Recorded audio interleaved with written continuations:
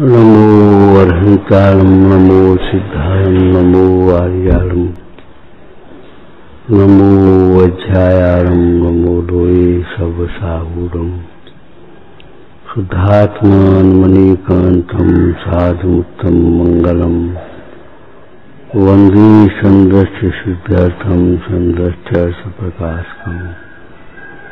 मङ्गलं भगवान् वीरो मङ्गलं गौतम गणे मंगलम कुंद कुंदाब्जो जैन धर्मोस्त मंगलम। सर्वमंगल मंगलम सर्व कल्याण कारकम प्रधानम सर्वधर्माणाम, जैनम जयतु शासनम। मंगलमय मंगल करण वितराग विज्ञान। नमो ताय आते भय अरहंताज महान। प्रगटे निज अनुभव करे चेतन सत्तारू सब ज्ञाता लखे नमो समय सार से हो जी झाया झण गही, कम कलंक दही। नित्य निरंजन नारमय तेरो परम पड़ सोचो, विचार करो। अपने को भूल करके ऐसे ऐसे दुख सहे बोलो, तैयार हो सहने के लिए अब। नहीं तैयार हो तो फिर क्यों नहीं कर सोचते फिर। सहने को तैयार नहीं यदि अपने पापों का परिणाम, त्याग उन्हें दृढ़ होकर मन में कर स्वधर्म में ही विश्राम। अगर ये दुख नहीं सही है, जो चौगत दुखते डरे तो तज सब पर भाव। कर निज आत्म अनुभवन यही यह हित ही तपाय। हित के लिए यही उपाय है और कोई उपाय नहीं। कितने लोग ऐसे हैं जिन्हें, ये तो हमें आता है। ये तो छेड़ा रहा है, क्या करना अरे, आता है तुम्हें। अभी भी तुम्हें परद्रव्य दुख का कारण दिखाई देता है। अपने दुख का कारण अपनी भूल नहीं दिखाई देती और ये कहती हमें आता है। हिदाराकार कह रहे, भूल है आपको भरमत बाज। और तुम कह रही है तो हमें आता है। हम अपने को भूल कर दुखी है। और जाने नमक कम डाल दो, जाने ढंग से नहीं बोलो, जाने ऐसो करो, बने ऐसो करो। हमारा प्रयोग अलग है और थ्योरी अलग है। धर्म परिभाषा नहीं प्रयोग है। सोचो, समझो। बहुत भक्ति से, बहुत बहुमान से, आदर से यह पढ़ना चाहिए। यह सिखा दो ये आमनाय नाम का स्वाध्याय है। यही प्रवचन हो रहे, बस पंडित जी आ गए प्रवचन हो गए बस। ये बहुत गंदी साइकोलॉजी है। जो और बातें व्यवहारिक रूप से हम कहते हैं, उनको प्रवचन ही नहीं मानते हो। केवल उसी को प्रवचन मान उसी को तत्व मान लिया हमने। ये भारी भ्रांति है। भैया, अजीब भी तत्व है। अजीब तत्व है कि नहीं? ममता करने लायक नहीं है। लेकिन अजीब तत्व है, अजीब जीव नहीं होगा तो मानते मारते मर जाना। वो आत्मन, अजीब तत्व है तो अजीब अपना कैसे हो जाएगा? इसके पीछे क्यों हम प्राण दे रहे जीव को क्यों नहीं पहचान रहे हो? ये अपने से पूछो, प्रश्न करो। आश्रम भी तत्व है। अकेला संबंध जरा मुक्त तत्व है, ऐसा नहीं है। चार ही तत्व है, ऐसा नहीं है। सात तत्व है। और सात तत्व है प्रयोजन भूत प्रयोजन भूत किसके रहते हैं? प्रयोजन भूत हाँ। अरे भैया, इतनी जल्दी बोलोगे, ऐसे बोलोगे तो तो कम हो तुम्हारा। जिनको समझे बिना सुखी नहीं हो सकते। और जिनको यथार्थ समझने पर सुखी होने की गारंटी। सुखी होगे ही हो होगे यही कपड़ा पहन के सुखी हो जाओगे। घर में रहते ही सुखी हो जाओगे। लेकिन तत्व को समझ लोगे तो। और अगर तुमने नहीं समझा तो सुखी नहीं हो सकते। कुछ विचार करोगे? करोगे विचार? पर को दुख का कारण मान करके कभी सुखी नहीं हो सकता। जो पर को दुख का कारण मानता है, वह कभी सुखी नहीं हो सकता। दुख से बचने के लिए आत्मघात नहीं आत्म साधना का मार्ग अपनाया संतों ने। ज्ञानियों ने सतियों ने धर्म मार्ग में लगो। ये ऐसा करते, ये ऐसा करते, ये ऐसा करते, इनकी मारे परेशान, इनकी मारे परेशान। ऐसी आफत है, गोद में बच्चा है और तलाक की तैयारी हो रही। बताओ, ऐसी आफत है जिसको किसी पिता कहेगा किसका स्नेह मिलेगा इसको? हो सही नहीं। अरे भाई, तुम्हारे उदय से ज़्यादा प्रतिकूलता कोई देने में समर्थ नहीं। तुम्हारे पुण्य उदय से ज़्यादा अनुकूलता देने में समर्थ नहीं। अब तुम जबरन इनके पीछे पड़े हो। ये हमारी सुनता नहीं, ये हमारी मानता नहीं, ये हमारा ऐसा नहीं कर। इनको ऐसा करना चाहिए। ढेर सारी अपेक्षाओं का जहर पीछे रहते हैं। जिनवानी का अमृत पियो। ढेर सारी कल्पनाओं का, अपेक्षाओं का जहर मत पियो। अरे, तुम्हारी माँ भी तुम्हें, तुम्हारी भूख से ज़्यादा दूध नहीं पिला सकती। तुम्हारी आयु से ज़्यादा तुम्हें जीवन नहीं दे सकती। तुम्हारी सहायता से ज़्यादा तुम्हें सामग्री नहीं दे सकती। और बोलो बोलो, आगे क्या बोलोगे?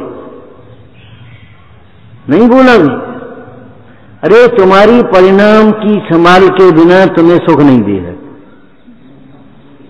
मर गए जो लड़का के मारे ऐसी आफत है। वो रो रो करके दुखी हो सकती है, लेकिन क्षमता के बिना तुम्हें सुखी नहीं बना सकती। तुम्हारी माँ हम नहीं। तुम किसके भरोसे हो?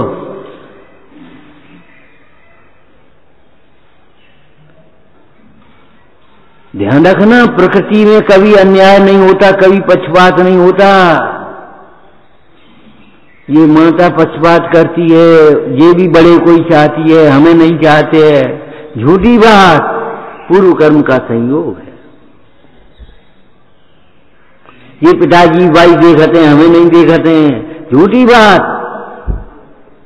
ये इनकी गलती को भी सही कहते हैं, हमारी सही को भी गलती कहते हैं। अरे भैया पहले तो तुम्हारी मान्यता में भूल है, सही को गलती कौन कहेगा? और तुम्हारी गलती को सही कहने से सही हो जाएगा क्या? एक प्रस्ताव पास कर लो मिर्ची खर्ची होती है। मिर्ची खट्टी होती है, प्रस्ताव पास कर लो। लिखो रजिस्टर लिखो। हो जाएगी हमारे तुम्हारे कहने से। वस्तु का स्वरूप बदलता नहीं, तत्व बदलता नहीं, अजीब अजीब ही रहता है, भिन्न ही रहता है। अब सम, अब एक एक बात समझो अपने को जी समझे बिना कोई सुखी नहीं हो सकता। पैसा कितो वो बात से क्या मतलब है? तुम कलाकार खा लेता से क्या हो जाए? एक बार जी उठा के दूध पी ले बात से क्या हो जाए तुम्हें? हम एक बाल्टी दूध पी गए और शेर बार जलेबी तो वैसे खा जाते। अरे भैया बिना विवेक वैसे ही खा जाते होता ही नहीं है। उन बातों को याद कर रहे हो पछताओ। कि कितनी हिंसा की है हमने। हा हा मैं अदयाचारी। तस जीवन रात विराधी थाबर की जतन न कीनी और में करुणा नहीं लेनी। सोचो, समझो। अजीब को भिन्न समझे बिना, देह को भिन्न समझे बिना, पैसा को भिन्न समझे बिना नाम गुत गोत्र कुल आदि के कर्म की प्रकृतियों को भिन्न समझे बिना कोई भी जीव सुखी नहीं हो सकता और इनको समझे तो सुखी हुए बिना रहेगा नहीं। तुम मानियो नहीं? अपने आप मान जाओ तुम्हें समझ में आ जाए। तुमने वो दृष्टांत सुना होगा। एक बच्चे को खांसी हो गई। जिस डॉक्टर वैद्य के पास ले जाए, कोई आपात मानने को तैयार ही नहीं। एक वैद्य के पास फिर अंत में निराश होकर के ले गए। वैद्य ये सुनते ही नहीं है काउ की, मानते ही नहीं है। जो नुकसान करते हैं ही फ़ायदा लगाते जाए उन्हें अच्छा दही बिना रोटी नहीं खाता, फलाने बिना खटाई बिना कुछ नहीं करता। अच्छा कोई बात वैद जी पे पास जब गया, बोले, बेटा, दही खाने में तीन गुण हैं। ए, जो सभी ने अवगुण अवगुण बताते, जिन्हें कौन से गुण बता रहे? ब्याज, निंदा, स्तुति, अलंकार है। समझते हो? साहित्य का ब्याज, निंदा, स्तुति, अलंकार। निंदा की ब्याज माने बहाने से, ब्याज माने वो ब्याज नहीं, रुपया पैसा वालों। निंदा के बहाने से स्तुति की गई। हे भगवान, आपको देखना क्या फ़ायदा? इससे तो उन्हीं लोगों देवों को देखना सही है, जिनको देख करके हृदय आप में संतुष्ट होता है। भक्तामर माया, मन्ने वरम हर राधव दष्टा दष्टेश एस हृदय तो स्मृति किम बीचते भवते भवन नान्य। कश्चिन मनो न भपी स्वप्नांतरेपी भाव, किसी दूसरे भाव में भी, स्वप्न में भी किसी दूसरे को देखने की अभिलाषा नहीं होती। हे नाथ, आपको देखना क्या भला? आपको देखने से क्या लाभ? किसी को देखने की अभिलाषा नहीं होती। बहुत विद्वान थे, आप क्या समझ? रहे हो मानसुम स्वामी, बाहर के भी, भीतर के भी। आत्मज्ञानी तो थे ही। आत्मज्ञान के प्रभाव से उन पर कथाएँ हावी नहीं हो पाती थी। दुखी नहीं होती थी।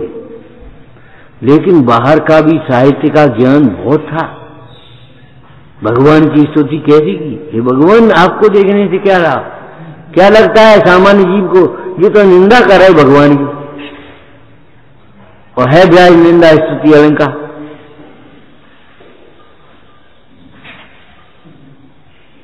दुनिया के देव देखे आप में हृदय संतुष्ट हो गया। आपने देखा, किसी को देखने का स्वप्न में भाव नहीं हुआ। स्तुति है, सच्ची स्तुति है ऐसी स्तुति, बोले, बैजी बोले, भैया, बेटा, दही खाने में तीन गुण हैं। नंबर एक, बोलो, कुत्ता परेशान नहीं करेंगे रास्ते चलते हुए। नंबर दो, घर में चोर नहीं घुसेंगे। नंबर तीन, बुढ़ापा नहीं आएगा। हो जी क्या मतलब? कि हाँ जब डंडा लेके चलोगे तो कुत्ता का परेशान करेंगे। रात भर खांसत रहे हो तो या घर में खांसी की आवाज़ चलते रहे, चोर कैसे घुसेंगे? और जवानी में मत जो है, बुढ़ापो कैसे आए है? अब दही नहीं खाने। काय काय बेटे, दही खाओ। ज़रूरी है। अब आप समझो। देह को भिन्न समझे बिना, संयोगों को भिन्न समझे बिना, संयोगों से उदास हुए बिना सुखी नहीं हो सकते। पैसा का ढेर है, प्रेम नहीं आपस में। का मतलब है? इनमें नहीं जा बर्बाद हो जाते ऐसे द्वेष बुद्धि क्यों कर रहे हो? भैया है, साधर्मी है, क्या बात है?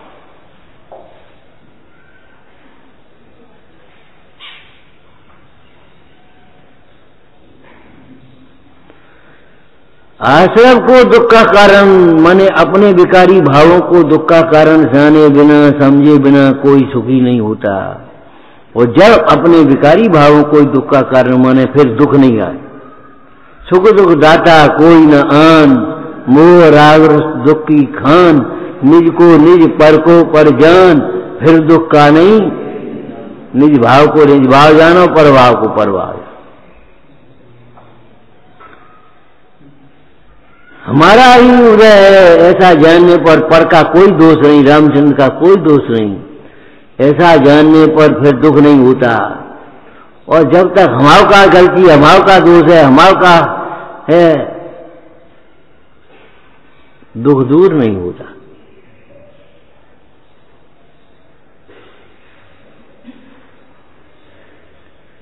जी, जितने भी जी सुखी होते हैं, भेद ज्ञान से ही सुखी होते हैं, तत्व ज्ञान से ही सुखी होते हैं आत्मज्ञान से ही सुखी होते हैं बैराग से ही सुखी होते हैं। और जितने भी दुखी हैं वे अपने अज्ञान से दुखी है। बताओ, ये समझे बिना तुम कैसे उद्यमी करो? होगे बैराग के और भेद ज्ञान के। भेद ज्ञान और बैराग का उद्यम कैसे करोगे तुम? काय को करो जाग में लगे रहे। हो सोने बढ़ गए भाव बढ़ गए। अरे कब बढ़ गए तब? तुम्हें क्या फ़ायदा? भाव बढ़ने से तुम्हें क्या फ़ायदा हो गया? तुम बेचे खरीदी करोगे तो तुम्हें फ़ायदा, तुम्हारा सोने का व्यापार ही नहीं है। ए चाय तेज हो गई? एक आदमी बोला, साधवी भाई बोला, बोले, हमें क्या करना है? हम चाय पीते ही नहीं। फेल हो जाए भर्ती हो जाए हमें क्या लेने मेरे कोई मुफ़्त में दे तो नहीं पीने। हम चाय पीते ही नहीं। हमें क्या प्रयोजन है? हमारे सर्वार्थ सिद्धि, सर्वार्थ सिद्धात्मतया विगत्य ज्ञानी के मन से परिग्रह। बोलो, हिंदी। आना चाहिए तुरंत। सर्वार्थ सिद्धात्मतया विधत्ते ज्ञानी किमन्य से परिग्रह जिसने ये जान लिया है, समझ लिया है कि सर्व प्रयोजन की सिद्धि अपनी आत्मा से होती है, उसको परिग्रह से अब क्या होगा? क्या करेगा पड़ेगा प्यास लगी है, सोने लिया क्या करोगे तुम सोने को? कपड़ा लिया बढ़िया ये पहने ये नहीं ये पहनेंगे बस क्या हो जाए। प्यास बुझ जाएगी।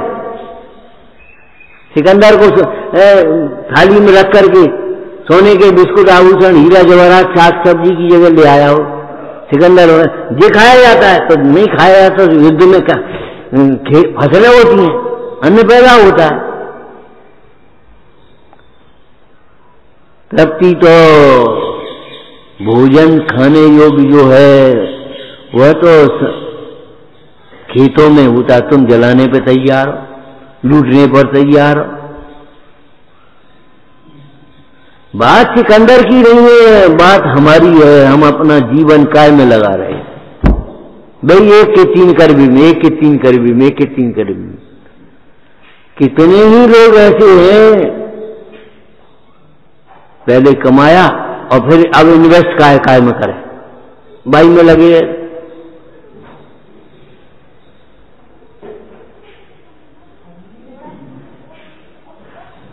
एक त्यागी जी थे एक आध लाख रुपया कर लो पुराने जमाने पे।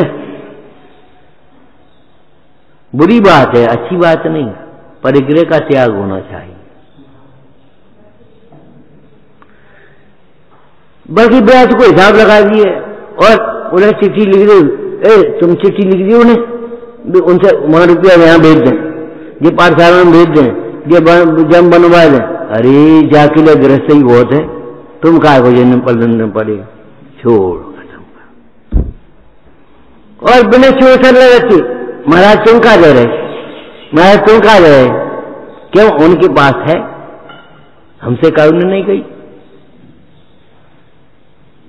ये मंदिर बनाओ, तुम कहा दे रहे ये बेंच बनाई है, तुम कहा दे रहे हमसे तो कानून नहीं कही आज तक। ले और दे, ले और दे, कहा? दे को चलना होगा तो रोटी मिलेगी। इतना विश्वास लेकर के चलो। और अगर इतना राग नहीं घटा है तो देह की केवल व्यवस्था थोड़े में हो सकती है। सादा जीवन के लिए, देह के लिए थोड़ी में व्यवस्था हो जाएगी। तृष्णा की पूर्ति नहीं होती। धनवान भी तृष्णा से सुखी नहीं होता, और गरीब भी संतोषी दुखी नहीं होता। तत्वज्ञानी हो, संतोषी हो, गरीब भी दुखी नहीं होगा। ठीक है, बहुत है। और नहीं तो तस्यामान भी, अरे, हम पे कहा है, हम पे कहा है, हम पे कहा है, यही कहते रहे। अब बताओ बड़े बड़े लोग ही भ्रष्टाचार बड़ा फहरा रहे लाखों करोड़ों, हज़ारों करोड़ों का गमन कौन कर रहा है? तुम थोड़ी कर रहे हो। एक मजदूर थोड़ी कर रहा है। जिनका पेट भरा हुआ है और भरने के लिए कोई गुंजाइश, कोई वे लाखों, हज़ार करोड़, बारह सौ करोड़, सात सौ करोड़ उनके गमन कर रहे ठिकाने नहीं पड़ रहे। और कितने आकुलित हों।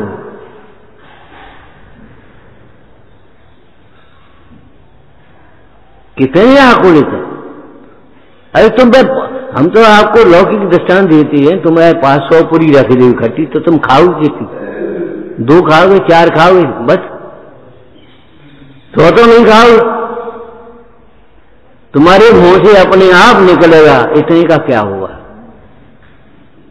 ये सौ पूरियाँ तुमने रख दी, पूरी डडिया पर रख दी, इससे क्या हो, इतने का क्या होगा? कौन खाएगा का भैंस है? भैंस की सानी रही का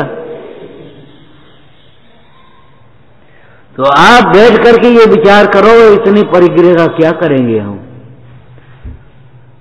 एक घर में ले रहने, छह घर ले ले। अब छह घर का करोगे?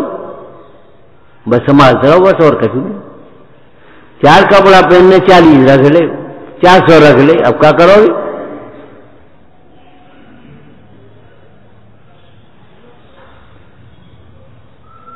तत्व ज्ञान के बिना संतोष नहीं आता, संतोष के बिना समता और सुख नहीं होता। और तत्व ज्ञान होगा तो संतोष आएगा, समता आएगी, सुख आएगा, आज नहीं तो कल आएगा अरे आज ही आएगी, कल नहीं। ये तो हमारी कहने की भाषा है, आज नहीं तो कल आएगी। आज ही आएगी आएगी। धर्म का फल नगद कर्म का फल उदार। आज जो जान दोगे, उसका फल तुम्हें जब उदय आएगा तब मिलेगा। लेकिन आज जो त्याग करोगे, उसका फल भी मिलेगा।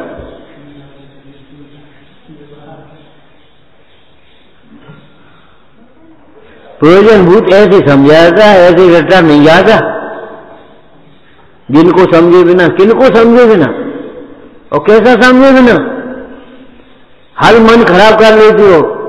हर मन अच्छा हो जाता है जेका युवा से अनुकूल कहें, प्रतिकूल कहें, ये मन की झूठी वृत्ति है। मन की वृत्ति झूठी है कि वहाँ बस्ती झूठी है।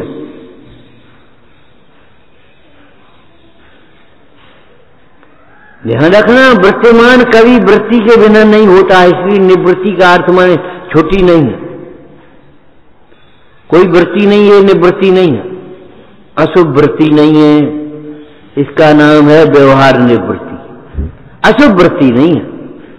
अशुभ वृत्ति जानते अशुभ विचार नहीं है तुम्हारा। किसी को मारने का, लूटने का, खसोड़ने का, सताने का, दुखी करने का, झूठ बोलने का, चोरी करने का, क्रोध करने का, किसी का तिरस्कार करने का, ये भाव नहीं।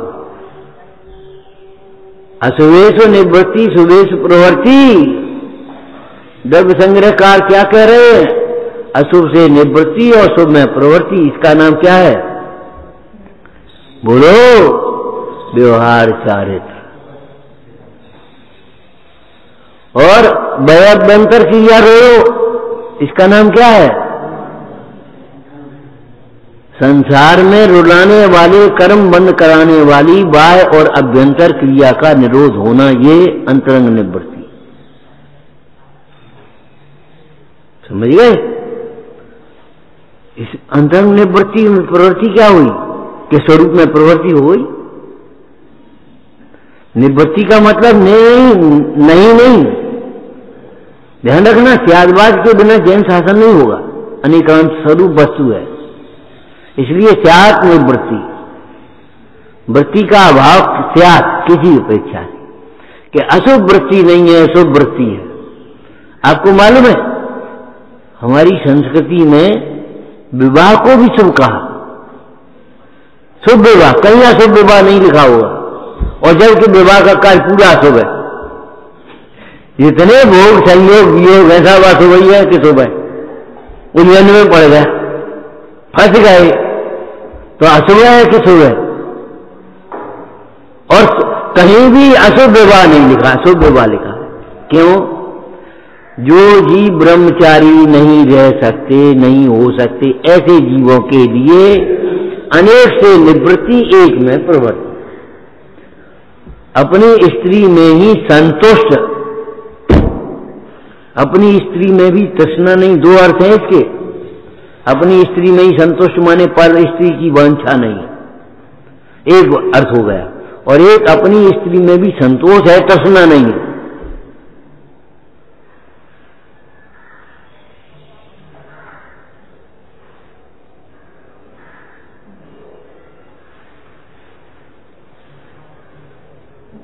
अपनी स्त्री में भी संतोष है, तृष्णा नहीं है।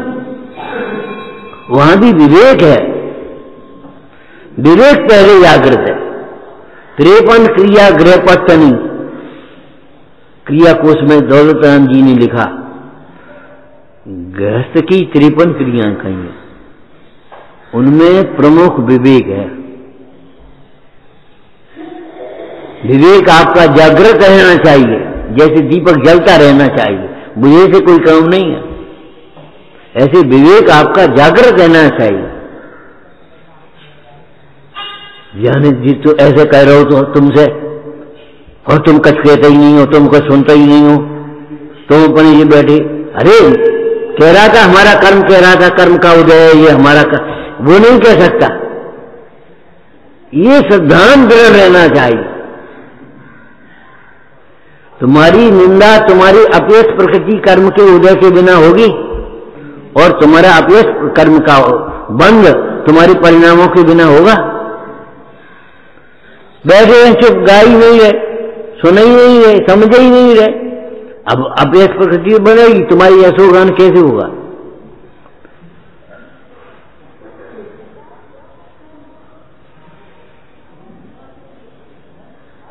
बहुत बेईमान है।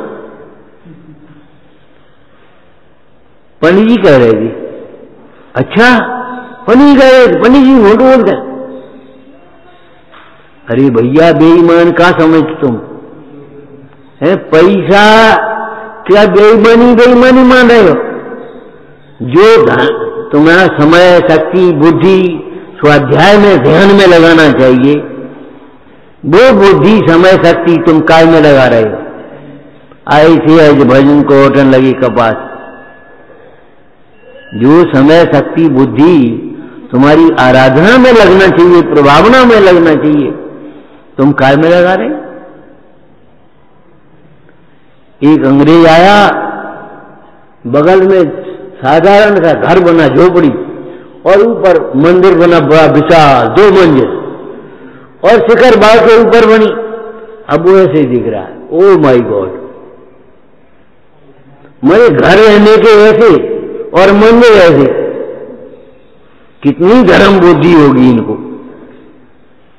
आज मंदिर घर कैसे और मंदिर कैसे?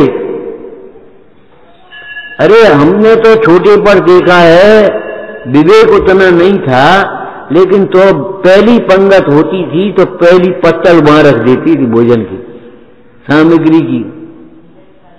ये विवेक नहीं था कि ये चीज़ें मत चढ़ा, भगवान को।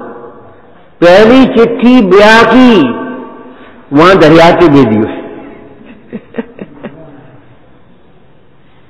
मैंने पहले भगवान को निमंत्रण देंगे तब सबको निमंत्रण देंगे क्या मतलब है? हे भगवान आप हमारे हृदय में विराजमान रहो हमें इस कार्य में आसक्ति न हो। इस कार्य में किसी के प्रति अन्याय न हो। कोई संकल्पी हिंसा न हो। मूर्छा ना हो, सावधान है हम। अरे घर में दीपक जलता रहेगा तो उजाला रहेगा कि नहीं रहेगा? बोलो। तो हमारे घर में भगवान रहेंगे तो फिर फिर खोटे भाव कैसे आ जाएँगे गुस्सा कैसे आ जाएगी? क्रोध कैसे आ जाएगा? तिरस्कार कैसे आ जाएगा? माया और लोभ का परिणाम कैसे आएगा तुम्हारा, जब भगवान हृदय में रहेंगे?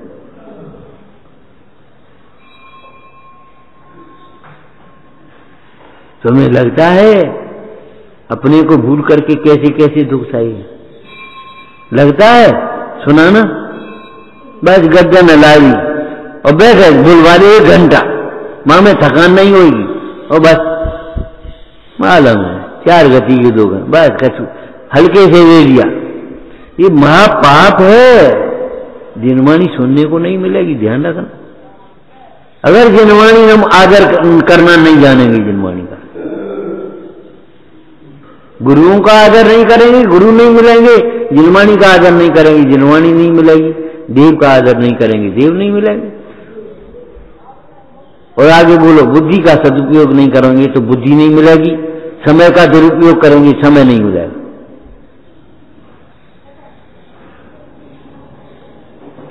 अब कल जाएँगे मंदिर से। जाएगे, लाएगा ही नहीं रहोगे तो मंदिर, कल का जाओगे। जाएगे लायक नहीं रहोगे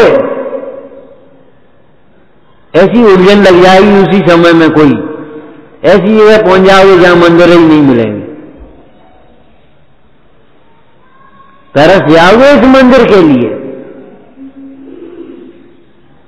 अगर मंदिर की संभाल और मंदिर में अपने परिणाम की संभाल नहीं करोगे तो।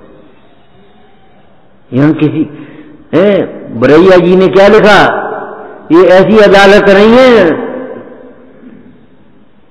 जहाँ पक्षपात होता है, जहाँ किसी के साथ अन्याय होता है, कि गरीब वही काम करे तो दंड और अमीर वो काम करे तो कभी दंड नहीं। ऐसा नहीं होता यहाँ।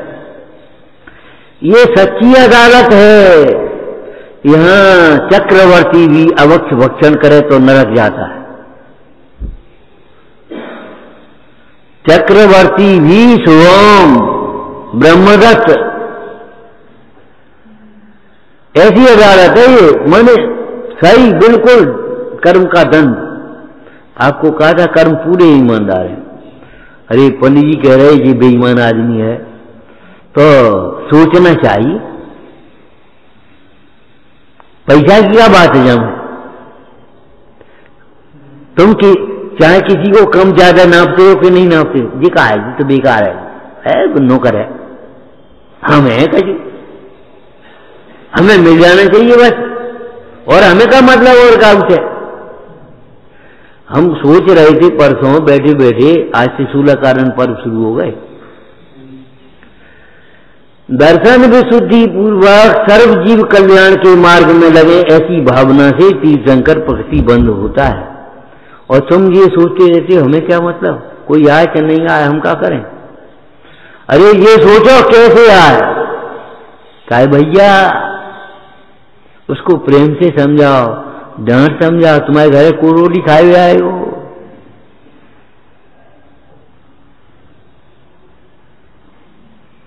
भैया, स्वाध्याय बिना कैसे तुम सुखी होगे ये समझाओ उसको। जगत के जीव चाहे मोक्ष चाहते हो चाहे नहीं चाहते हो, सुख सब चाहते हो। गलती ये है, वो उंगली सुख को सुख मान रहे इसलिए पैसा के पीछे लगे हैं भोगों के पीछे लगे। और जो उंगली सुख को सुख नहीं मानते, वे भोगों के पीछे नहीं भागते। भोगों की भिकारी नहीं होती। सरस्वती का उपासक, उल्लू की, लक्ष्मी की, छलना में नहीं आता। छला नहीं आता, उसके चक्कर में नहीं पड़ता। जिनके उर विश्वास वचन जिन शासन नहीं, ते भोगा तर हो सहे दुख नरखन माही।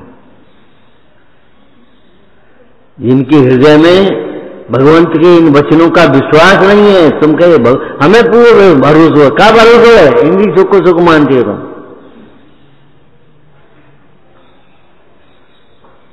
जिनके और विश्वास वचन जिन शासन नहीं ते भोगा तो हो सहे दुख नरकन माही खेडाला में लिखा है बुद्धन जी की खेडाला सुख दुख पूर्व विपाक अरे मत जिया कठिन कठिन से मीत जन्म मानुष तय लिया अरे मित्र तुमने मनुष्य जन्म कितने कितने पुण्य से पाया न सोचो, अरे मित्र, कितना अंधेरा। जभी जाग जाओ, तभी है। मित्र मित्र शब्द लिखा है। बिना कारण वीर, ते साध मेरे और बसो, मम हरो पाठ ये तो जानते हैं, आत्मा को जाने में दुखी होता है, बस। और हो जाए भस्म पागलपन से। ए, लड्डू बहुत बढ़िया। थोड़ो जहर में मिलो बस, और कछु बात नहीं। अब खाओ कि नहीं खाओ? हमारे पंडित जी एक दृष्टान देते थे जब हम प्रवचन करने गए एक जगह। तो बूढ़े पंडित जी थे, पाँच हज़ार श्लोक याद थे उनको। हम हिंदी बोले, वो संस्कृत बोलते। बगल में बैठे प्रेम से द्वेष है नहीं, प्रेम भी बहुत था। तो बोले, भैया हमने पंडित जी, आप आप बोलो के लिए। बोले, भाई, हम कहा बोले? अब तुम बोलो, ठीक है। फिर बोले, भैया, ये बताओ, अपन खीर खाने के लिए जा रहे हो। कुछ मुँह में हो, कुछ चम्मच में हो, या हाथ में हो और कुछ पेट में चली गई हो, कुछ थाली में रखी हो, कुछ भगोने में रखी हो। हम खीर खाने के लिए जा रहे हो, तैयार हो रहे उसी समय में दूध वाला आया, अम्मा, खीर खीर को कहा भाव वह दूध में एक सांप गिर गया। ओ, अब पेट की तो मुँह में है सो तो खाई लेंगे। एक्टिंग करके बताते थे वो। अरे भैया, पेट की भी निकालने की कोशिश करोगे उल्टी करके? मर गए। ध्यान से कहा, अम्मा जी, सांप गिर गया। दूध फेंक दो। किसी ने प्रयोग तो नहीं किया। बोले, खीर बनाई बेटा। जहाँ तो बढ़िया पिस्ता डाले हमने। अरे, डाले होने बाद का मतलब? वो पिस्ता का करे वो? चिरौंजी का करेगी वो तुम्हारी? नीवा उसमें क्या करेगा? जिसमें जहर डरा तो जिसकी मान्यता में जहर है मिथ्या तो है, उसको ये नाना प्रकार का ज्ञान और नाना प्रकार की क्रियाएँ क्या करेंगी? जिसकी मान्यता विपरीत है, उसका सारा जीवन विपरीत है। और जिसकी मान्यता सम्यक है, उसका जीवन सम्यक है। इसलिए सारा पुरुषार्थ अपनी मान्यता को बदलने में लगाओ।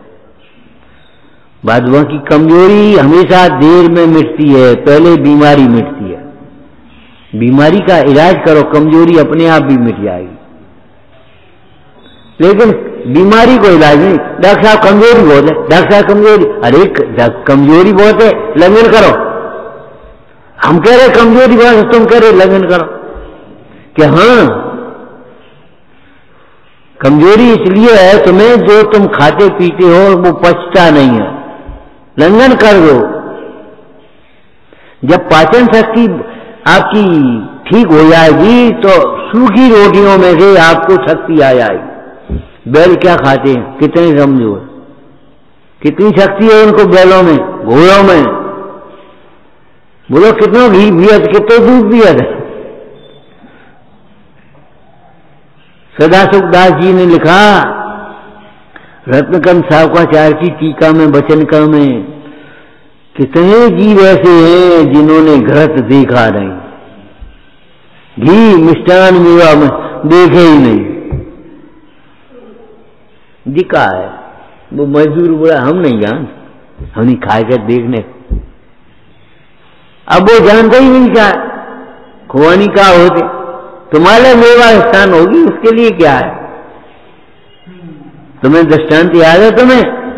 अरे, जिस नोट के पीछे तुम पुराण देते हो, वे नोट घास के जितनी कीमत नहीं है, गाय के सामने अगर घास डाल दो तो चलने लगी, आराम से प्रसन्न होकर के, और नोट के सूंघेगी आवाज़ आएगी वे नोट नदियों में बहाए थे ककड़ों के, इनके पीछे जेल हुई कहाँ से आए?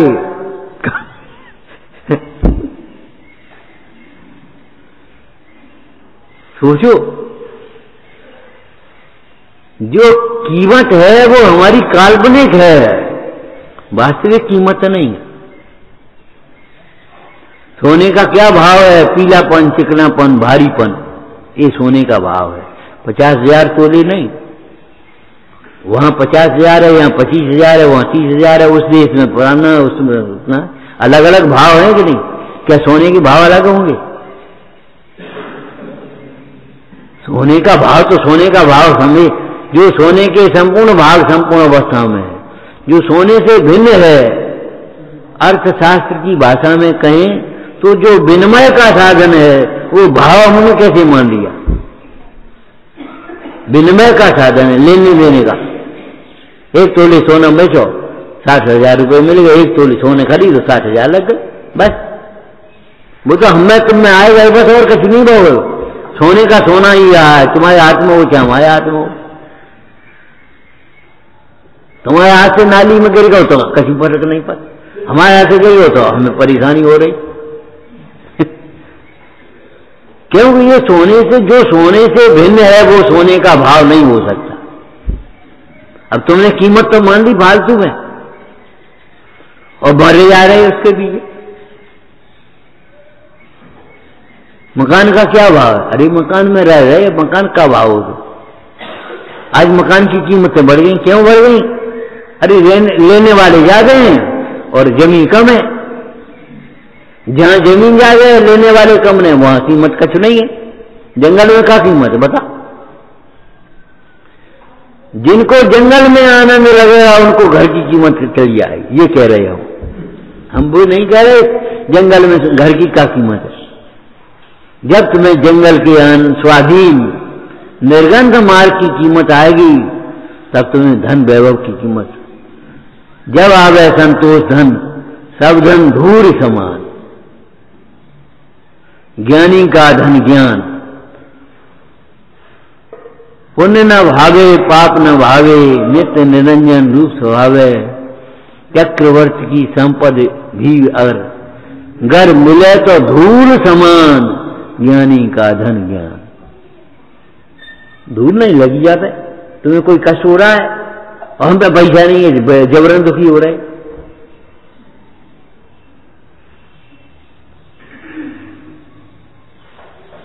फिर पैसा का अभिमान और पैसा के बिना दीनता क्यों आ रही है? क्यों उस टेंशन में पड़े हो? पागलपन में। नहीं है, ते सहन पत्था वे साहू के साह हैं, जिन पर पैसा नहीं। जिनके राज्य है, वे राजा हैं, और जिन पर राज्य नहीं है, वे महाराजा क्यों सोचते हो उल्टी सीधी बातें? बाबा जी कहते थे, उठाई गिरा, ये अपनी विपरीत कल्पना कर करके दुखी होता रहेगा दुख का कोई कारण नहीं, विश्व में नहीं है। तुम्हारे दुख का कारण हमारे यहाँ कैसे होगा? तुम्हारा दुख का कारण तुम्हारे भीतर? विश्व में दुख का कारण नहीं है, हमने कल्पना कर ली, ले, हमें कोई पूछा तो नहीं, हमें कोई मानता नहीं, हमारी कोई सुन तो नहीं। अरे तो हमने भगवान की नहीं सुनी तो फिर? क्यों कल्पना कर रहे हो झूठी झूठी? और जबरन दुखी हो रहे हो? हमारे पैर में जूता नहीं, अरे काउ के तो पैरों नहीं आप उधर से क्यों नहीं देख रहे? और काउ के नहीं है माने, ये क्यों सोचते हो किसी के पैर नहीं? ये पैर तुम्हारे नहीं है। और जिन पैरों से खोटे स्थानों पर गमन किया जाता है, वे पैर पाप की क्रिया में गए। वो पाप तथा सूत्र में पाप की क्रिया कहा। और जो पैर, अरे, वंदना के लिए चलो, दर्शन के लिए चलो दान के लिए चलो, जिनवाणी सुनने चलो, ये पैर सार्थक हो गए।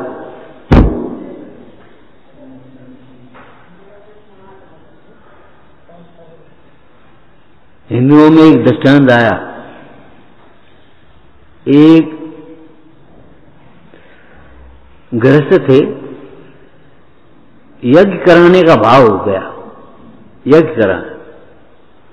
तो पंडित जी बोले, यज्ञ का हमको पहले दक्षिणा चाहिए तब हम यज्ञ करेंगे। पहले दक्षिणा चाहिए तो पहले बता कि सौ यज्ञों का फल दो हमको। अब सोचने लगे, हम पहले तो यज्ञ कर रहे हैं और सौ यज्ञ को फल इन्हें कहाँ से दे रहे हम। स्त्री बोली, हम देंगे एक से एक यज्ञ को फल तुम्हें। कराओ आप यज्ञ। एक से एक यज्ञ को फल कैसे दे दो एक से एक यज्ञ का फल ऐसे देंगे। संत चरण को जब चालिए जहाँ जहाँ चरण धरते जहाँ एक एक को फल हो जाए। जब हमने संतों का दर्शन करने के लिए चरण बढ़ाए, हमको यज्ञ का फल मिल गया।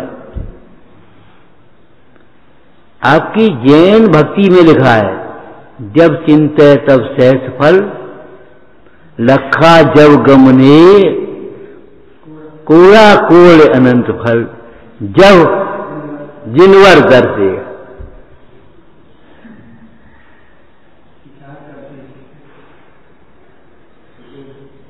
जब चिंते तब सहस फल। तत्वा सूत्र की स्थापना में लिखा तुम्हारी में, वो किसी और के हैं, लेकिन तत्वा सूत्र में क्या लिखा? दशाध्याय परिस्थिति दस अध्यायों का जो पाठ करता है, उसको इतने उपवास का फल मिलता है। हे भगवान, उपवास को फल उपवास में होगा? जी पाठ और उपवास से का मतलब? कि हाँ एकाग्रता से, भक्ति से, चिंतन से उपवास अरे हम आपसे बार बार कह देते बारह तपों को स्वाध्याय के बिना जाना भी नहीं जा सकता, तपोगे का तुम? स्वाध्याय के बिना तप ताप होते जो रोज स्वाध्याय नहीं करते, उनके लिए भी उपवास के दिन स्वाध्याय ज़रूरी है। श्राव का चार में लिखा, उपवास के दिन क्या करे? अपना दिन कैसे पूरा करे बोलो। लिखा है कि नहीं? बताओ। हिंदी बोल दो आप अपने भाव में। हमें कोई मतलब नहीं, आप लोग नहीं आता, कोई बात नहीं। सत्प्रश्न, प्यासी बन करके, चातक बन करके। और जिलवाणी को पढ़े, सुने, सुनाए।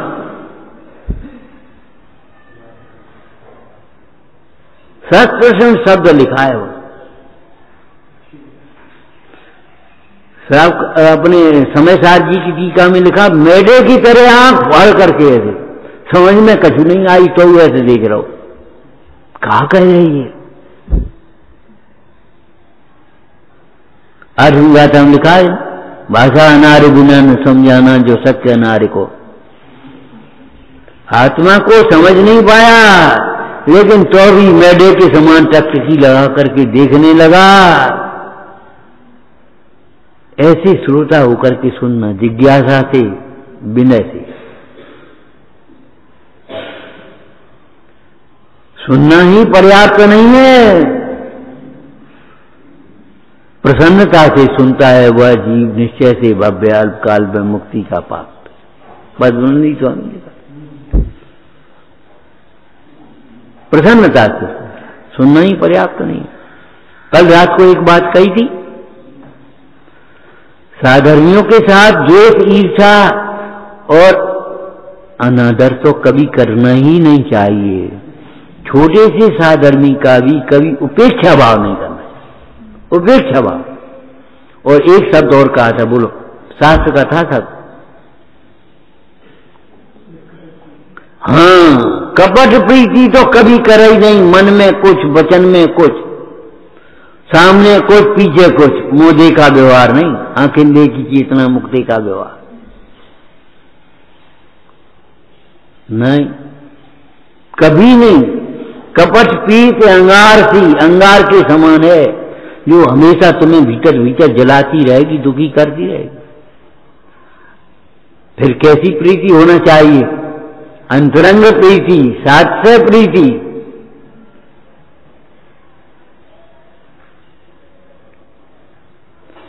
द्वेष और ईर्षा और उपेक्षा भाव, इनकी तो कोई बात ही नहीं है।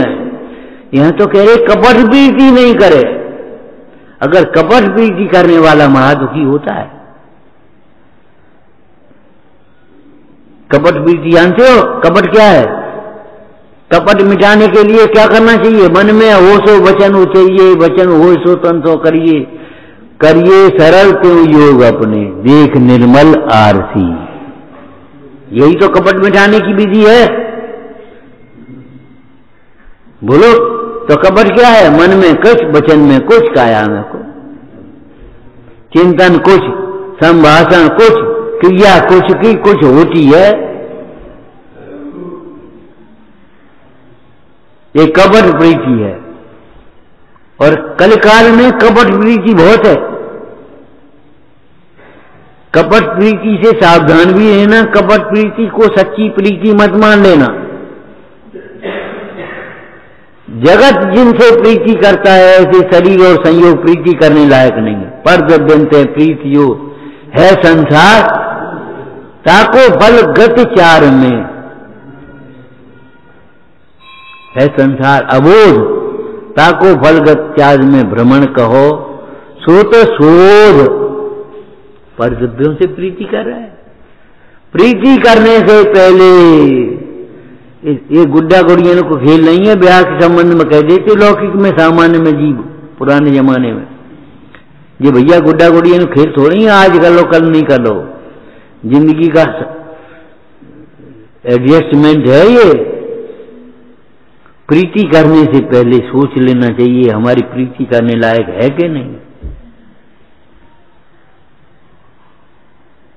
प्रीति करने लायक नहीं है और फिर हम प्रीति करते हैं तो महादुखी होते हैं। और प्रीति करने लायक से प्रीति करते हैं तो सुख का मार्ग मिलता है। सुख नहीं मिलता? सुख तो शुद्ध आत्मा की प्रीति करने से मिलेगा तुम्हें। और केवल प्रीति नहीं, प्रीति से पहले प्रतीति चाहिए। क्या कहा? प्रीति से पहले प्रतीति चाहिए। जहाँ हमारी प्रीति होती है, वहाँ प्रतीति होती है कि नहीं, देख लो आप कंट्रोल करके देखो। अगर प्रतीति नहीं होगी तो प्रीति कभी नहीं होगी।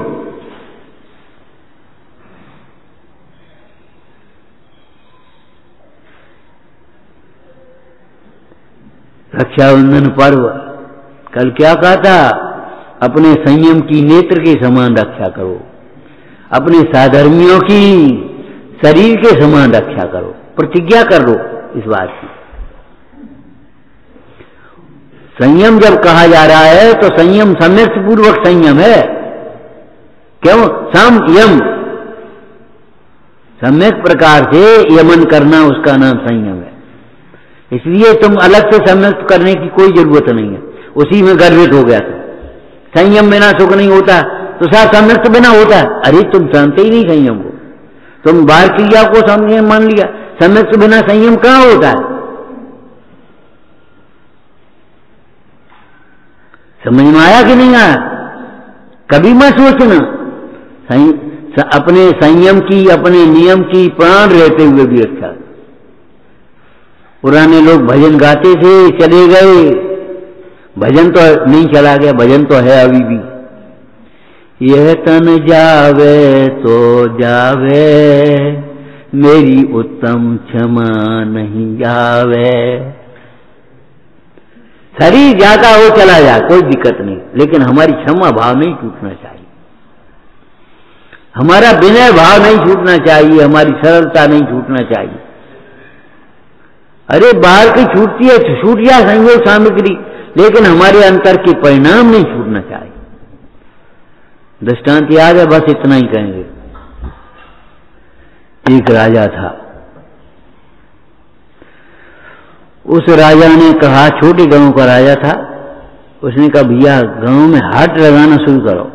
गाँव वाले लोग परेशान होते सामान के लिए हाट में दुकानें लगा। और प्रोत्साहन के लिए उसने एक और घोषणा करा दी किसी दुकानदार की कोई चीज़ नहीं बिकेगी तो हम खरीदेंगे राज्य खरीदेगा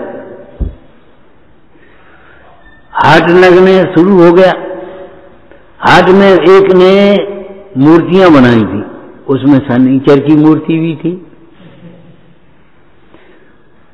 ये मूर्ति चार हज़ार की, वो भैया पैसा दे के सनीचर खरीदे। शाम तक नहीं बिकी। राजा ने मूर्ति खरीदवा ली पैसा दे दिए उसको, और मूर्ति आ गई महल में। जब शनिचर की मूर्ति आ गई तो वहाँ से एक स्त्री जाने लगी। तुम कौन हो? क्या हम लक्ष्मी हैं। हम जा रहे हो अब तुम्हारे घर से, तुम्हारे घर शनिचर आए हो तो हम हम कैसे रहे? कि जाओ भैया? समझ लेना चाहिए, संचर माने गंदगी। ए शनिचर तो है, नाव नहीं जा तो भाई कहते गए नहीं कैसे बोलो? संचर माने गंदगी, और गंदगी माने हिंसा, वहाँ लक्ष्मी नहीं आती। ये है उसका तो वो स्त्री जाने लगी कि लक्ष्मी जा रही है। राजा ने कहा, जाने दो भैया, जाओ। जब लक्ष्मी आने लगी तो धर्म भी जाने लगा। दान पुण्य वगैरह आप कैसे करोगे? बिना पैसे के बिना। हो जाए रहो के धर्म। जाओ तुम जाओ भैया, हम क्या करें? तीसरा फिर उन्होंने कहा, अब सुख जाने लगा कि जाओ तुम जाओ। चौथा आदमी मिला। जा रहे निकलता हुआ। राजा ने कहा, तू कौन है भैया? हम सत्य हैं। अब हम जा रहे बोले, तू कहाँ जा रहे हो? तेरे लिए संकर खरीदो अगर हम कह रहे हमारी कोई ज़िम्मेदारी नहीं, हम नहीं खरीदे तो कहा हो जाएगा? सत्य के लिए तो हमने संकर खरीदा है, तुम कहाँ जा रहे हो? तुम कैसे आओगे? सोचने का बात तो सही है। सत्य लौट के आ गया तो धर्म लौट के आ गया, नहीं जहाँ सत्य है, वहाँ धर्म रहेगा। हैं? और जब धर्म आ गया तो लक्ष्मी आ गई लौट के पुण्य दय की लक्ष्मी फिर मिलेगी यहाँ ध्यान रखना, पुण्य की लक्ष्मी अलग है और धर्म की लक्ष्मी अलग है। अनंत चतुष्ट के धनी, केवल ज्ञान लक्ष्मी। वह धर्म की लक्ष्मी है। और समोषण की रचना, ये पुण्य की लक्ष्मी है। तुम कहाँ जा रहे हो? तुम्हारे पीछे तो हमने संचर खरीदा है। तुम जा रहे हो। तात्पर्य कहने, कहानीकार का तात्पर्य क्या था? दृष्टांत का सिद्धांत क्या है? कि भैया, हमें सत्य अपने जीवन में कभी नहीं छोड़ना चाहिए। जहाँ सत्य है, वहाँ सब गुण आ जाएँगे, अंतर्गर्भित हो जाएँगे, और जहाँ सत्य चला गया तो अब कुछ नहीं बचेगा। रूढ़ी की क्रिया का पुण्य करते रहना तुम, और मानते रहना उसको धर्म। जब जीवन में सत्य नहीं है तुम्हारे अंदर में, सत्य के कितने भेद हैं? अरे, सत्य सिद्धांत, सत्य ज्ञान और सदाचरण। सदृष्टि ज्ञान वृत्तानी धर्मम धर्मेश्वरा विदु। यदि पश्य ने कानी भवंती भव पद्धति समंतवर स्वामी। समंतवर स्वामी क्या कह रहे सत्य के कितने भेद हैं? सत्य श्रद्धान, सत्य ज्ञान, सत्य आचरण हमारा। सत्य नहीं छूटना चाहिए। और जहाँ ये सत्य ज्ञान, सिद्धांत, आचरण आएँगे अब कहाँ जाएँगे? हमने सत्य की साधना के लिए तो इतने पैसे सेंड कर रहे, तुम कहाँ जा रहे? इसके लिए तो हमने छखंड का राज छोड़ा, तुम कहाँ जा रहे? सोचो, सत्य की महिमा को पहचानो।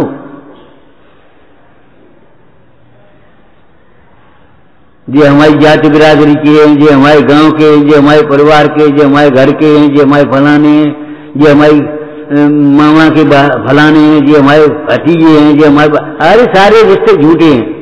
झूठे जग के सपने सारे, झूठी सब मन की आशा है।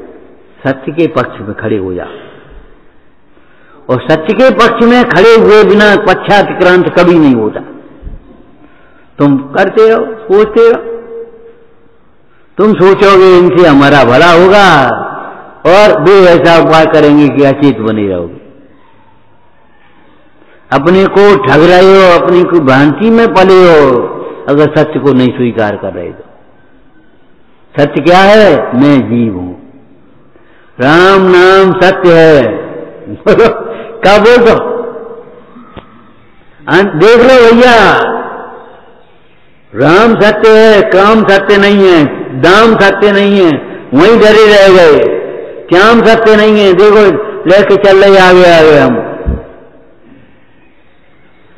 सत्य क्या है? मैं जीव हूँ, मैं चैतन्य स्वरूप हूँ, मेरा सुख मेरे में है। मैं स्वयं ज्ञानमय हूँ, प्रभुतामय हूँ, अनंत ज्ञान मात्र भाव में मेरी अनंत शक्तियाँ उछलती ये सत्य है। शरीर अपना नहीं है, अपना नहीं होता। सम्राट महाबल सेना ही उस स्थल को टाल सकेगा क्या? असरण मर्थ काया में हर से जीवन डाल देते क्या कर लोगे तुम? ये परम सत्य है, कोई किसी को दुखी सुखी नहीं करता। एक द्रव्य दूसरे द्रव्य का करता नहीं होता। इसलिए करने की कर्तत्व का अहंकार भी मत करना और किसी की प्रतीक्षा नहीं करना, कोई हमारा काम कर जाएगा। तुम्हारा काम तुम्हें स्वयं करना पड़ेगा। और जो दूसरा करेगा तो दूसरे का ही काम है। तुम्हारा काम नहीं है। एक स्त्री ने धन कमाता है धनी, गृहपति, और स्त्री दान कर रही है। तो दान का फल किसको मिलेगा? अरे गृहपति को तो गृह स्वामी को तो अनुमोदना करेगा तो अनुमोदना का फल लगेगा। और अगर विरोध करेगा कलुषित परिणाम करेगा तो कलुषित का परिणाम, फल मिलेगा। कमाई तो स्त्री थोड़ी कर रही है, आदमी कर रहा है। भले का है, कमाई बात का मतलब। आदमी के अन्याय का अनुमोदन अगर स्त्री करेगी तो स्त्री को फल मिलेगा, अनुमोदन नहीं करेगी तो नहीं फल मिलेगा। हम सादा रह लेंगे सादा पहन लेंगे, हम मेहनत मजदूरी कर लेंगे, ये अन्याय मत करो। बिल्कुल फल नहीं मिलेगा स्त्री को। तुम्हारी अन्याय का फल तुम्हें भोगना पड़ेगा। एक द्रव्य दूसरे द्रव्य का करता नहीं है। कैसे? बोलो सर्व शुद्धि अधिकार समयसार जी का जैसे भोगता नहीं। दृष्टांत बोलो। तुम्हारे घरे आज का बनो? जो तुम खाओगे सोई तो बनेगो। जो तुम नहीं खाओगे, तुम्हारे लिए अनुकूल नहीं है, वो तुम्हारे घरे का बनो। काय? काय कुछ बनाओ नहीं है? अब कौन के लिए बनाए? क्या करे? उनके पेट में दर्द हो रहा उनके वहाँ चले गए बे बीमार हो गए उन्हें बुखार आएगो अब कौन के लिए बना खिचड़ी है नहीं, डाल दे सो बना ये बन जाएगी, बन। त्योहार के दिनों खिचड़ी। अरे बढ़िया मिठाइयाँ बनाओ। मिठाई कोई खाता नहीं, बिन डायबिटीज़ हो गई बच्चा मान मन चले गए सो अब क्या करें, कौन लिए बना? जो करता होता नहीं है, वह भोगता भी नहीं होता है, और जैसे भोगना नहीं है, वो करता छोड़ना चाहिए